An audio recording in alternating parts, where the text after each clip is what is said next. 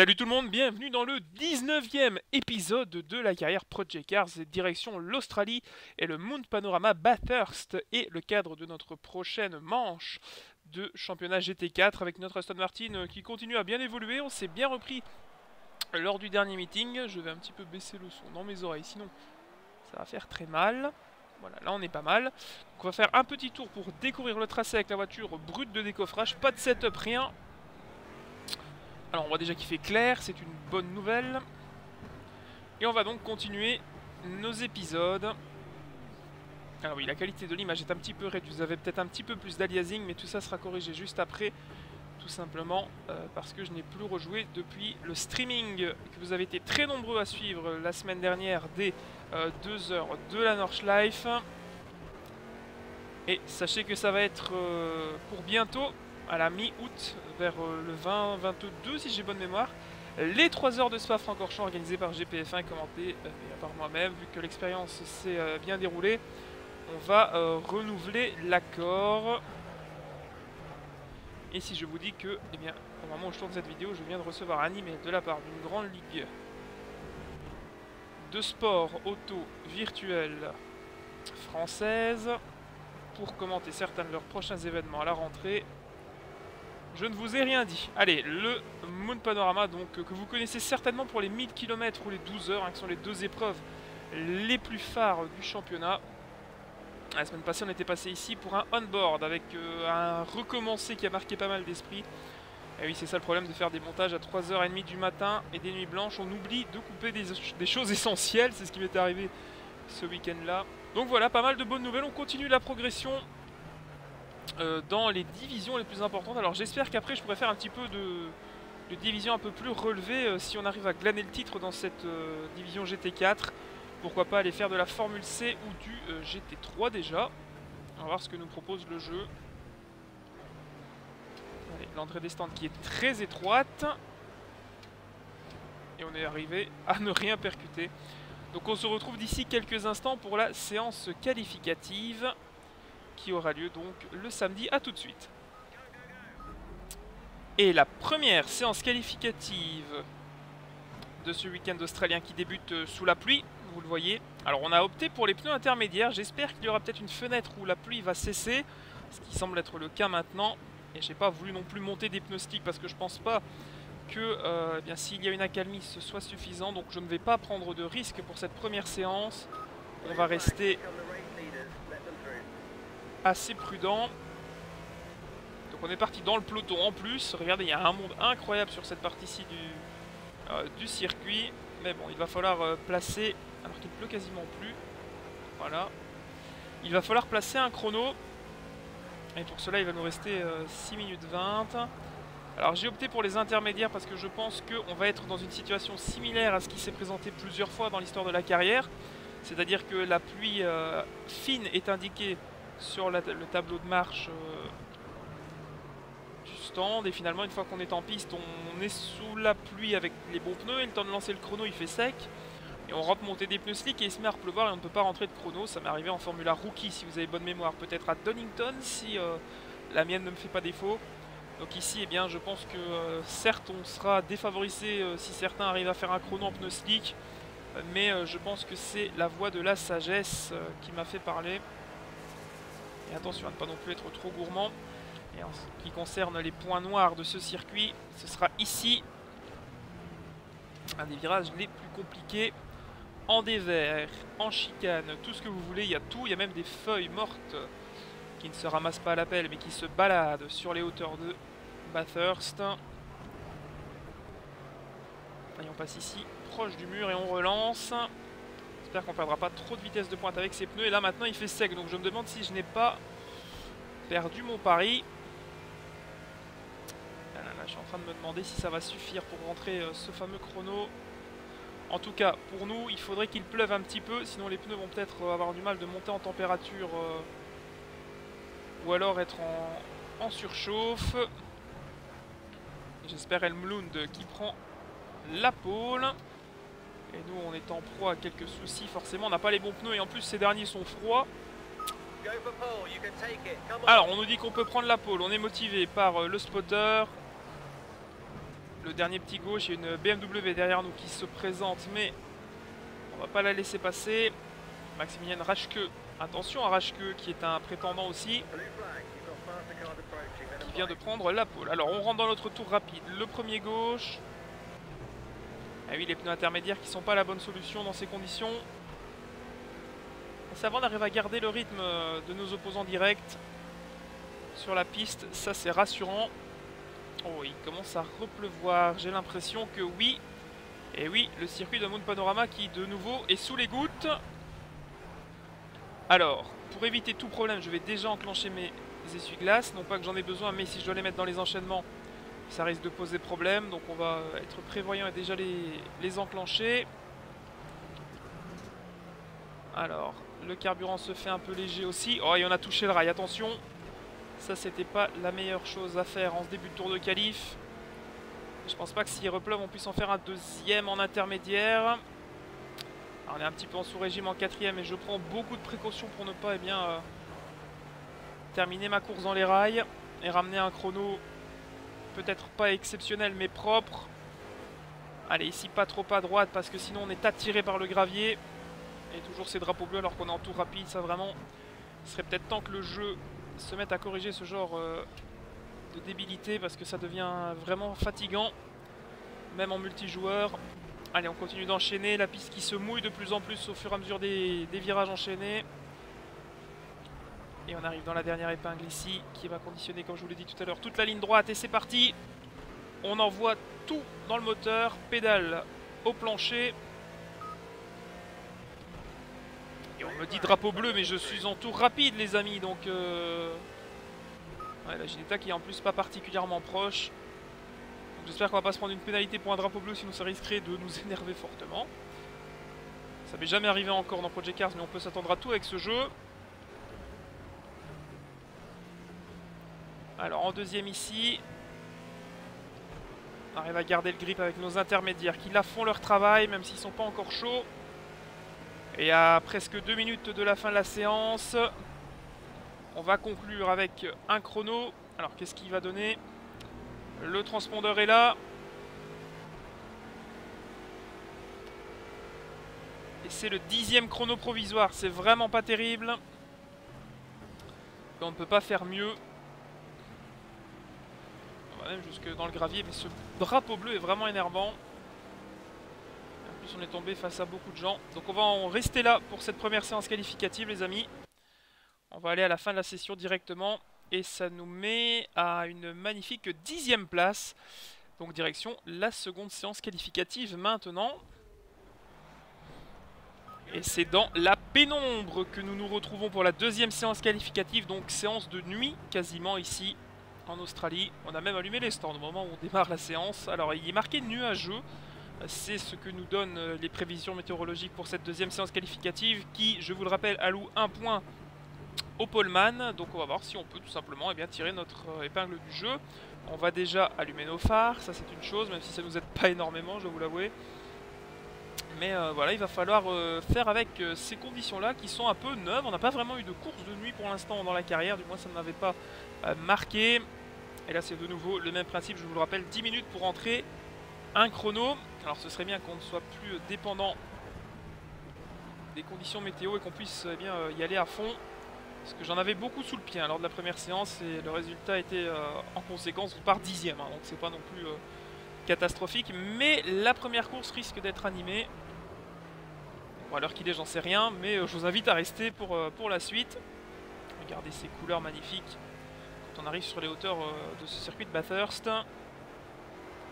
Oh Et on a tellement Nvidia qu'on est allé leur euh, faire un petit bisou sur la gauche. Alors pour l'instant ça n'a pas trop d'influence sur la voiture. Il faut juste que ça ne se répète pas euh, avant la fin de la séance, sinon on pourrait perdre du temps. La voiture qui est très instable dans les phases de délestage. Dès que la voiture se lève un petit peu, et là je vais aller tout droit quasiment. Bon ça va, j'ai réussi à tenir la voiture. Dès que la voiture est délestée dans ces parties-là, eh bien le résultat c'est une grosse glissade.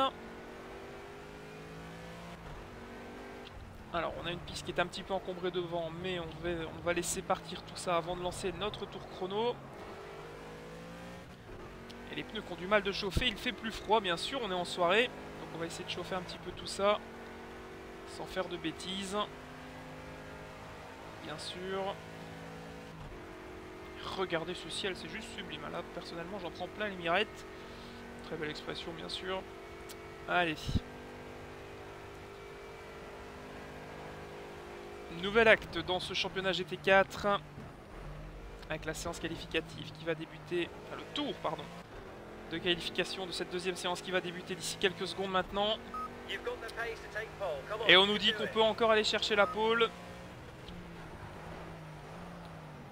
Eh ben on va tout faire pour. Et c'est parti. On a un bon cap avec la voiture de devant donc on ne devrait pas être gêné.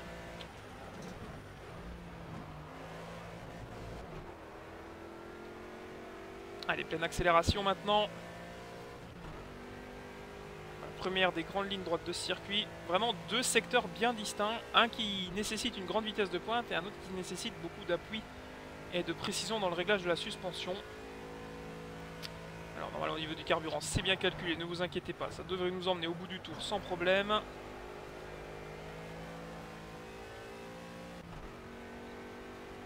Alors le verdict du premier secteur bientôt.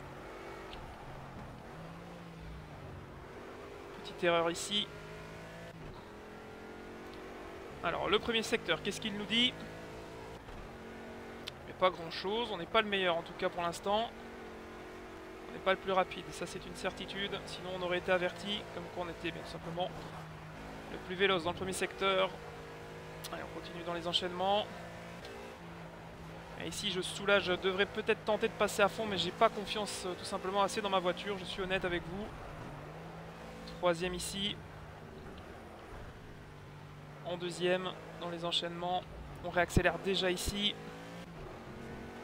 Troisième. Le deuxième est ici qui peut aussi se prendre en troisième, mais c'est difficile d'avoir confiance euh, en sa voiture avec les délestages qui arrivent euh, à plusieurs reprises. Alors, le verdict du second secteur bientôt. Et on est le plus rapide dans la section sinueuse du tracé, intéressant. C'est vrai qu'on avait un peu de peur euh, face au moteur de l'Aston et au Ginetta en ligne droite, et finalement c'est dans le deuxième secteur qu'on arrive à, créer la différence. Donc euh, synonyme de bon chrono, peut-être pas de pole position, le verdict bientôt.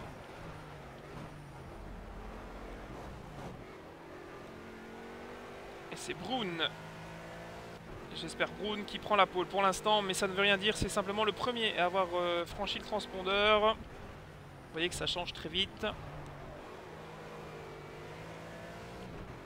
Et ça va bientôt être notre tour.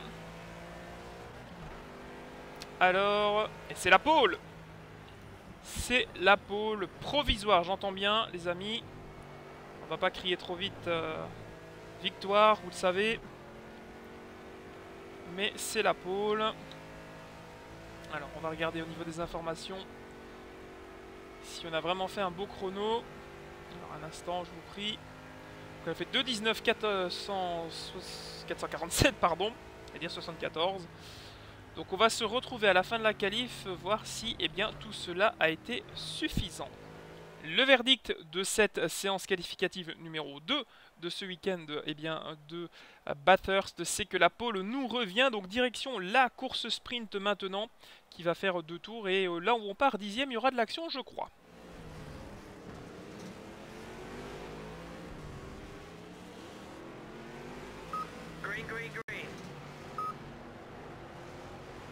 Bon, et on est mis quasiment dehors alors qu'on passe le transpondeur. Et c'est parti c'est parti pour ces deux tours sprint ici à Bathurst. Et on a été plutôt bien lâché par le jeu, qui n'a pas été trop vicelard. Mais là, par contre, on se fait mettre dehors sans raison par notre équipier. Raison de plus. Voilà, notre équipier qui nous pose hors du top 10. Ça, c'est pas très fair play. Et sincèrement, dépasser ici, ça s'annonce très compliqué, surtout avec le rythme qu'ont nos adversaires. Mais bon, on va déjà tenter quelques, actions ici c'est pas trop possible. Ah, quoique, ils sont partis au large. La 26 se fait doubler. Est-ce que notre équipier, la numéro 19, va nous laisser de la place? Oui, à l'extérieur. Attention à ce que ça ne nous revienne pas sur le coin de la tête. Et oui, ici, malheureusement, on est victime collatérale. Oh, et on passe bien là. Huitième. Oh, la stone là qui est très lente. Et la Ginetta, ils sont à deux de front. Et ils vont s'expliquer. On passe entre la Ginetta et le mur. On est septième, c'est bien. On est derrière euh, Abdullah Kabani, hein, qu'on avait vu en Formula Gulf euh, la saison dernière. Le garçon qui a été promu, visiblement, chez Aston. Et la numéro 07 euh, qui nous laisse passer assez facilement. Et on obtient la sixième place, la sixième place derrière Emma Bimont. La demoiselle qui nous avait déjà posé des soucis hein, dans différents événements lors de cette carrière. Et on continue les enchaînements. Ici, ça passe plutôt bien. On est aux portes du top 5, les amis, dans ce premier tour. Et euh, si le rythme continue à être euh, eh bien, aussi adapté à notre voiture, on pourrait peut-être même aller chercher un podium. Et c'est le contact avec le mur. Attention, là j'ai perdu toute la vitesse de sortie euh, de la vitesse de la ligne droite, la vitesse nécessaire. Attention, Et par contre là, le moteur de l'Aston Martin qui respire particulièrement bien avec les setups euh, qu'on lui a imposés. Et on va peut-être pouvoir déjà placer une attaque ici à l'extérieur de 4 roues dans l'herbe. Attention. Et là on a été beaucoup trop gourmand. Et on est contraint donc de rester derrière Emma. C'est nous qui avons totalement loupé notre manœuvre. Là donc faute à moi-même 100%. Il faut savoir reconnaître ses torts. Et là, je me suis totalement loupé. Allez, on conclut le premier des deux tours de cette manche sprint ici à Bathurst.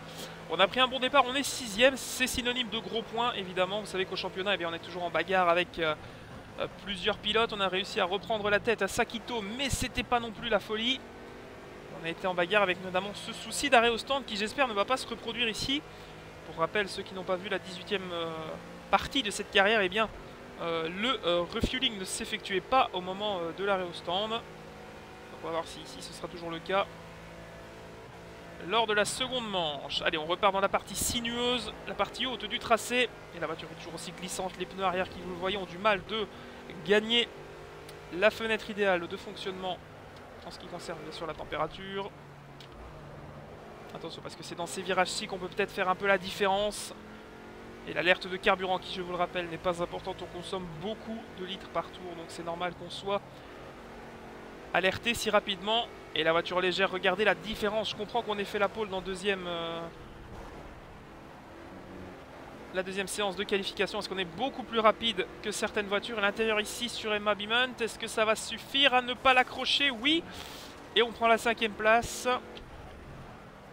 Manière un petit peu difficile et de nouveau contact avec le mur vraiment navré mais la voiture qui est très compliquée et là j'ai failli me mettre tout simplement dedans comme on dit et de nouveau un contact non c'est vraiment catastrophique cette voiture j'ai vraiment un, survirage incroyable. Et encore la preuve ici, et là j'arrive à la tenir, donc là ça va. Mais j'ai un survirage qui me surprend énormément. Navré pour ce pilotage brouillon dans ce deuxième secteur, mais là j'étais vraiment euh, passager de ma voiture. Et il va rester peut-être un freinage pour aller attaquer le pied de podium et Sanders met Vainqueur de la dernière manche à Sakito. Puisqu'il était euh, favorable de partir du côté intérieur de la piste à Sakito.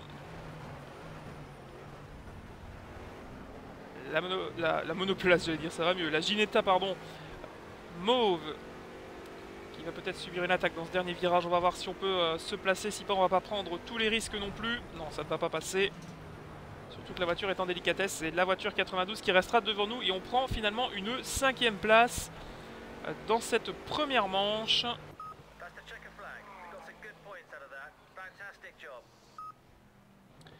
c'est Maximilian Raschke qui a tout simplement eh bien, ramené le plus de points. Les 15 points qui vont avec. Et Raschke qui devient donc euh, eh bien, le leader de ce championnat avec 3 victoires et 47 points.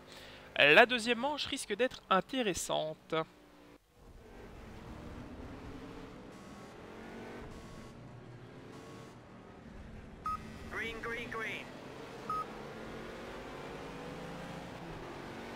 Et c'est parti, dernier départ de cette saison de GT4 et un très mauvais départ pour notre part puisqu'on a perdu le commandement. C'est Evan Truber qui est passé euh, premier et on va même perdre la deuxième place au profit de Michael Strange qui a donc euh, évidemment pris un meilleur départ que nous. Mais là il était très gourmand. Est-ce que dans la ligne droite on peut récupérer déjà une position?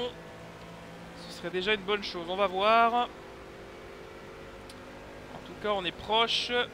Et attention puisque c'est Maximilian euh, qu'il faut garder à l'œil. Puisque c'est le garçon contre qui on se bat au championnat. Et comme c'est la dernière manche, c'est celui qui terminera devant qui remportera le titre, je pense. Alors vous voyez que je suis parti avec euh, une quantité incroyable de carburant. Puisque oui, le jeu en version 2.5 n'a toujours pas patché ce problème de carburant.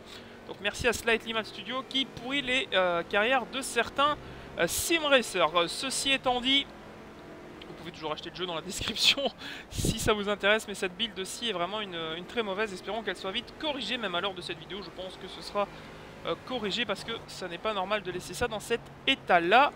On est plus rapide sur la partie haute du tracé que la Ginetta de tête, la numéro 48 aux couleurs de Petrobras, hein, enfin Petro, Petronas, pardon. Dissimulé sous un faux sponsor. Et Rubber qui euh, garde la tête. Alors on ne sait pas comment ça va se passer au niveau euh, de l'eau. Est-ce qu'il va pleuvoir toute la course? Est-ce que ça va s'intensifier? Est-ce qu'il va y avoir une, éclaircie? Est-ce que ça va sécher rapidement?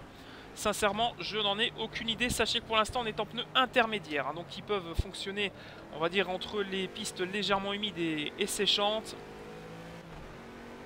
Donc, on va voir. On a la possibilité de faire une stratégie qui euh, fonctionnerait bien si euh, il pleuvait encore longtemps, puisqu'on peut rester en piste, on a le carburant, donc euh, dans le malheur on s'en sort pas mal. Et là on est quand même plus rapide que la Ginetta de tête. Alors est-ce que Michael Strange, troisième, va nous garder euh, eh bien Maximilian Rachke derrière? Je rappelle que Rachke c'est bien le leader hein, du championnat.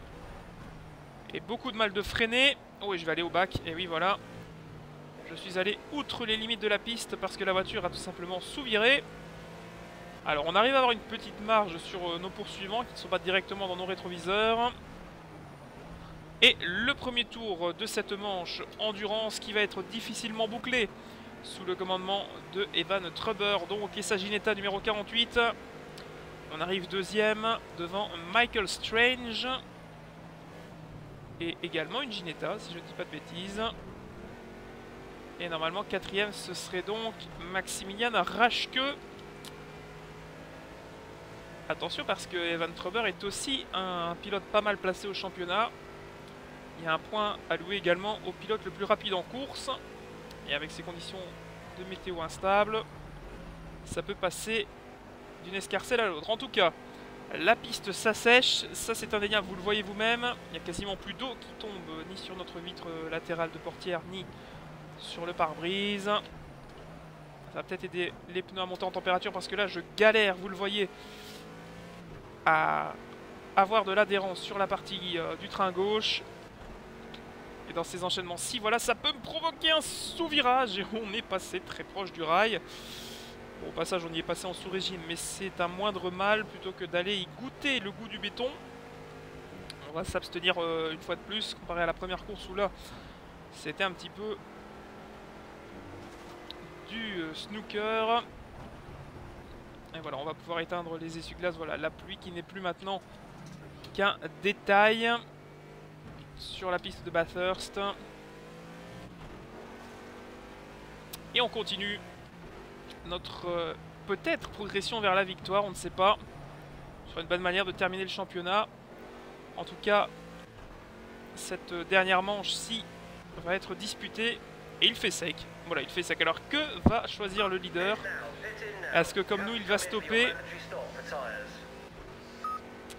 Est-ce qu'on va stopper? Sincèrement, je sais pas. On va attendre un tour.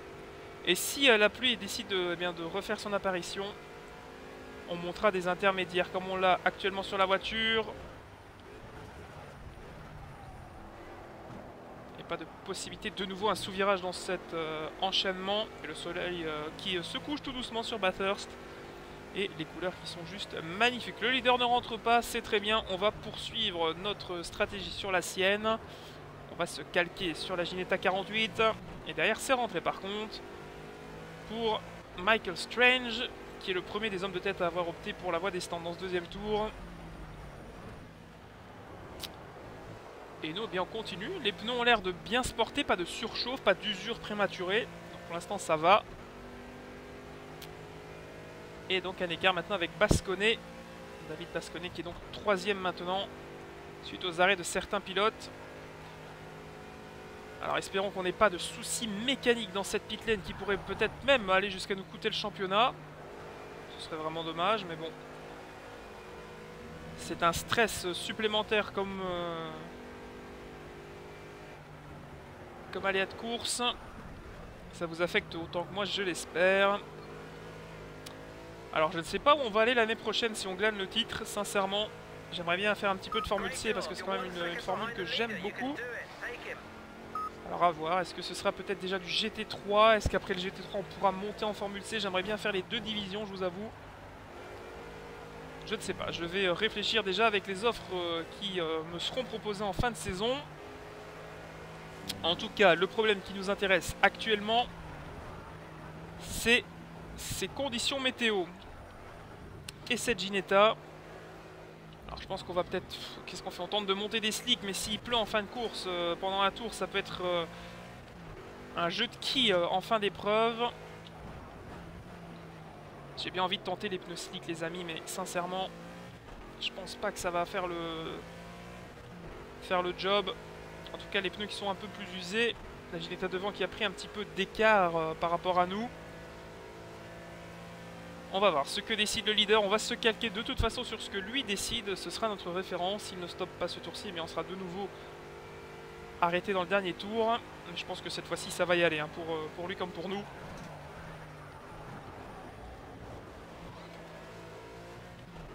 On va essayer de grappiller quelques dixièmes hein, derrière lui. Et voyez, il se place sur la gauche. Normalement, ça doit rentrer. Et c'est ce qu'il choisit.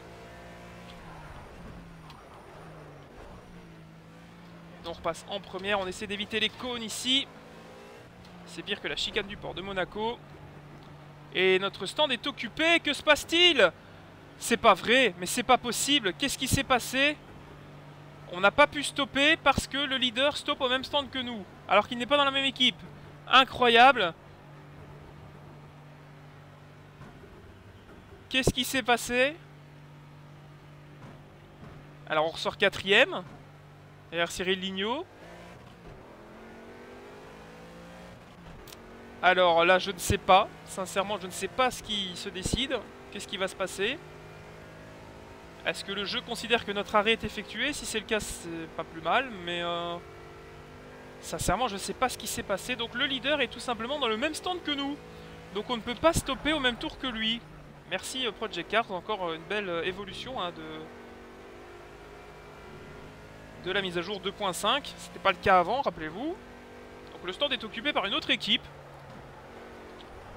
Assez hallucinant. Alors est-ce qu'ils nous considèrent qu'on a fait notre arrêt? Dans ce cas-là, ce serait nous qui avons glitché le jeu. Ce serait pas fair play, mais bon. On va pas s'en plaindre. Qu'est-ce qu'ils vont nous dire au passage du deuxième secteur Alors que c'est Constantin Malikov qui est derrière nous. On va être condamné à faire un deuxième arrêt. Celui-là, j'espère que ce sera le bon mais quand même assez scandaleux cette histoire de ne pas avoir l'équipe euh, disponible parce que eh bien, le leader est dans la même équipe que nous. Je ne sais pas, sincèrement je ne sais pas ce qui va nous être proposé au passage du second secteur. En tout cas, ça passe plutôt bien.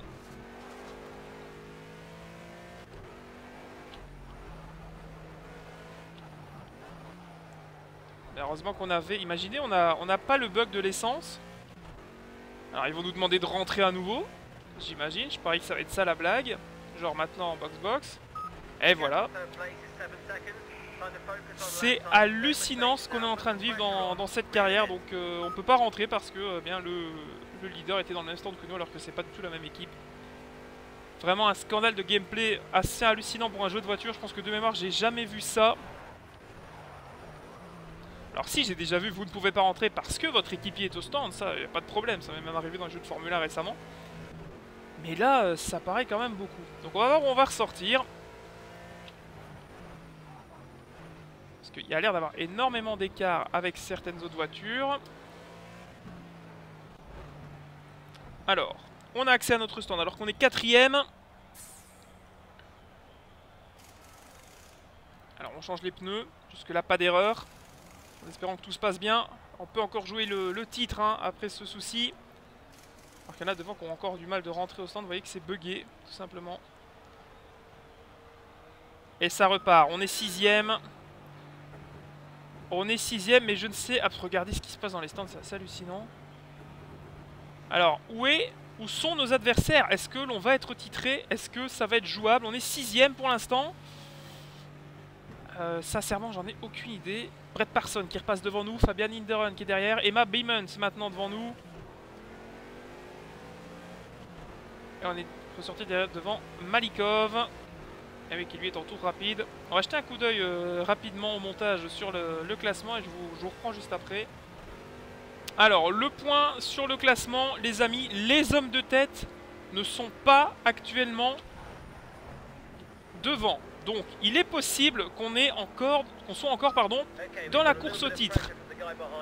Euh, je suis assez halluciné de ce qui se passe, mais euh, cette euh, absolument cette erreur, on va dire d'équipe, hein, cette erreur de jugement absolument monumentale, pourrait nous être favorable. Première chose. Deuxième information, je suis ressorti en pneu tendre, ce qui fait que je vais être peut-être plus rapide que ceux qui ont opté pour les intermédiaires. Maintenant, il ne reste qu'un tour pour aller chercher peut-être une cinquième place. Je ne sais pas où ça va se jouer en termes de classement. Va-t-on récupérer le titre? Regardez devant, il y a une voiture qui est très lente. C'est Brett Parson avec euh, ce qui semble être une BMW E92. Alors là les amis, on est peut-être en train de faire euh, quelque chose d'assez incroyable avec deux arrêts.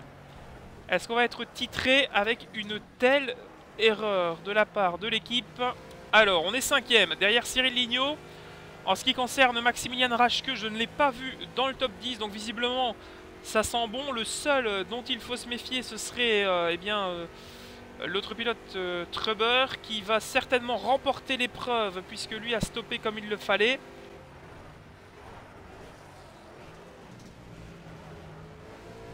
Et on est sous pression de la BMW derrière qui va peut-être euh, essayer de nous chipper cette cinquième place.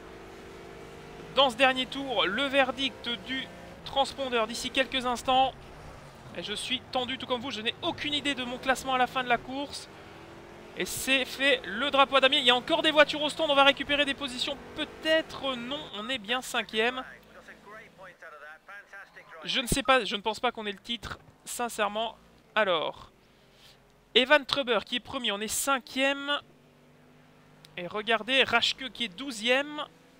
Lemet 15e, je ne sais pas. Allez, on va regarder. Evan Truber, donc 15 points. On prend 6 points. Et oui, on prend aussi des points hein, pour ce qui était de la deuxième qualification. Et nous sommes second au championnat derrière David Bascones qui a donc euh, remporté le titre. On est vice-champion. Je pense qu'avec euh, eh le jeu euh, qui aurait fonctionné correctement, on pouvait être titré de cette division GT4. On est victime du jeu, donc euh, ce n'est pas quelque chose que je vais passer. Vous devez être au courant de ce qui se passe. C'est une carrière sans restart, vous le savez quasiment.